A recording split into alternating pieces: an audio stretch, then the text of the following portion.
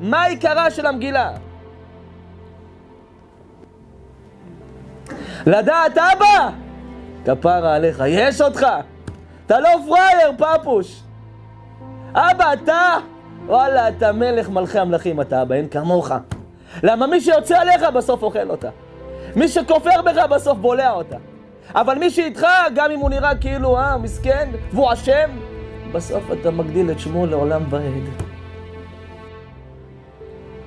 אנחנו לא משתחווים, לא מפחדים, רק ממי שאמר והיה עולם בורא עולמים.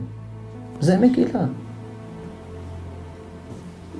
כל פורים זה מצווה גדולה להיות בשמחה. זה היום הכי הכי הכי של השמחה. ומי שיהיה שמח ביום הזה, זה ילווה אותו כל החיים ברק אהוב שלי. כל עניין קריאת המגילה זה לשמוח במגילה. היום הכי גדול בקשות וסגולות זה פורים.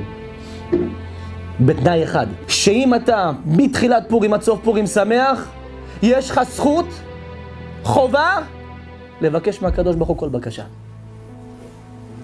למה אתה שמחת בנתינה ליום שהוא הכי קדוש בישראל, שיש בו תשובה, צדקה, חסד, קירוב לבבות, מחילה, שלום, תשובה שלמה, יש בו מתנות לאביונים, אתה נותן למי שאין לו. אומרת הגמרא הקדושה, זה מתנה אמיתית של פורים, לשמח את האביון. זה אחד שפעם נתן ועזר. היום הוא נזקק. תפוס אותו, תחזיק אותו, אם תשמח אותו, יהיה לך שמחה כל החיים.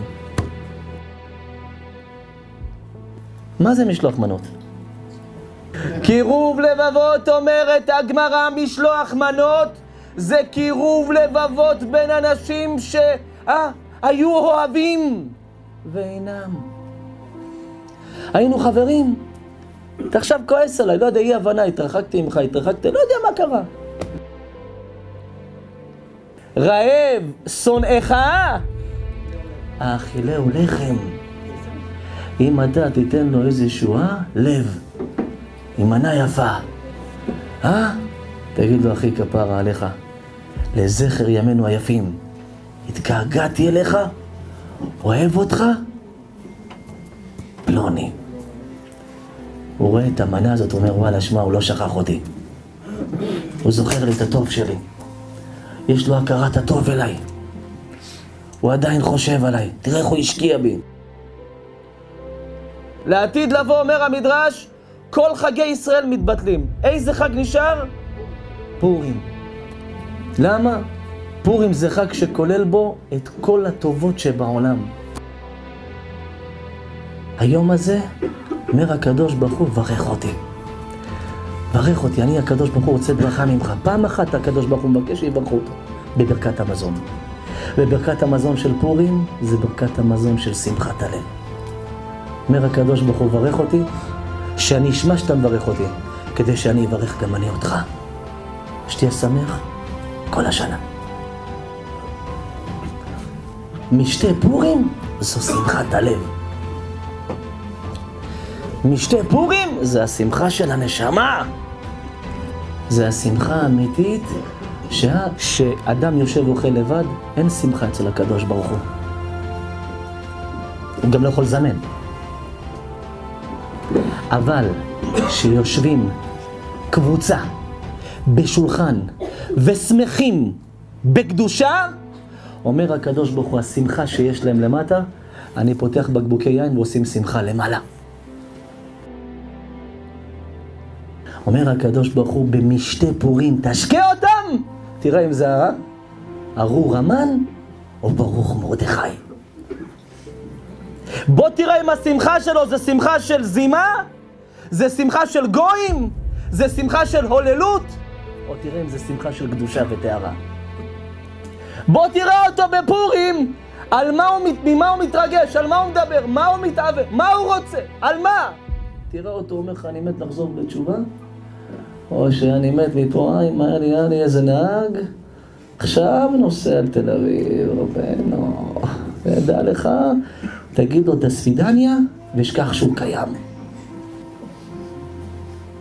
אדם שמח בפורים. קורא ברכת המזון ואומר, אבא, ואכלת? אכלתי. ושבעת? אבא, שבעתי. וברכת.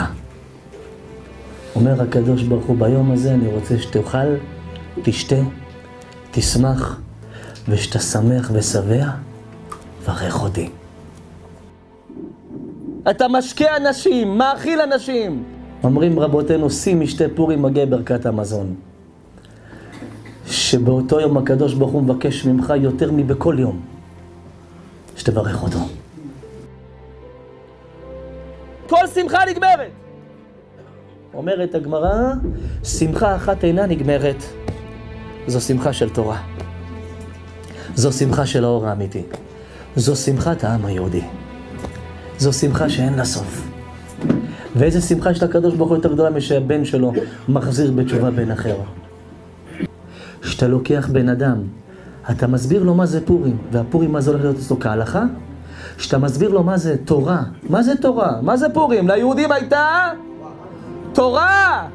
שתורה זו אורה! אתה רוצה אור, תכניס תורה! יהיה לך שמחה וששון ועיקר.